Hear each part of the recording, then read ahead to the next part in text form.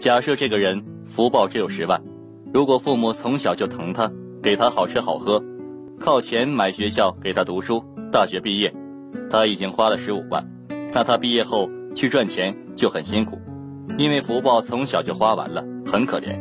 所以大学生给小学生打工，老板很多都是没文化的，但不能瞧不起他们，他们有福报，没文化不会饿死，没有福报，一时都不能富足。教育孩子不要给他太多的钱，花的是你的钱，损的是他的福报。很多人小时候很风光，到了长大就可怜了，把福报风光掉了。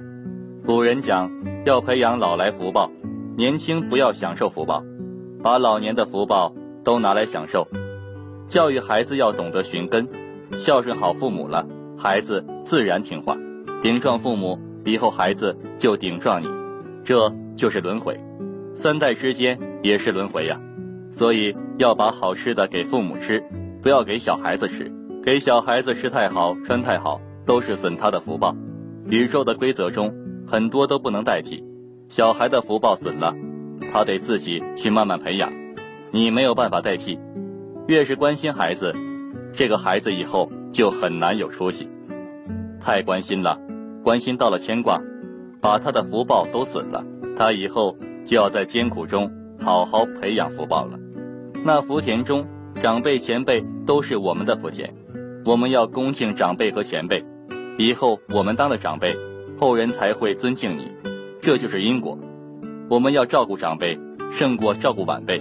现在的人都关心孩子胜过关心父母，以后孩子长大了，他生了孩子，也是关心孩子胜过关心你，这就是因果循环。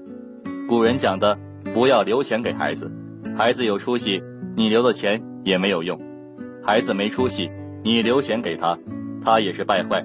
这就是宇宙的规律。那要留什么呢？留阴德。我们好好做善事，儿孙自然得福报。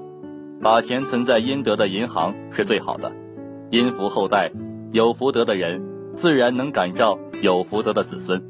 天道是公平的，古人讲富不过三代，意思是德行不好，不可能一直富贵下去。富人会变成穷人，那穷人慢慢努力，德行好了，福报上来了，就变成了富人。这就是因果规律，能量的守恒。富人都喜欢给孩子花很多钱。提供很好的教育，教育虽然也很好，但好的教育还是福德的教育。给孩子福德教育，胜过知识和技术的教育。天道不会亏待人的，布施出去的钱，收回来的是阴德，这些阴德自然会福荫后代，上天会照顾他，让孩子受苦，让他去成长，将来才不会受苦。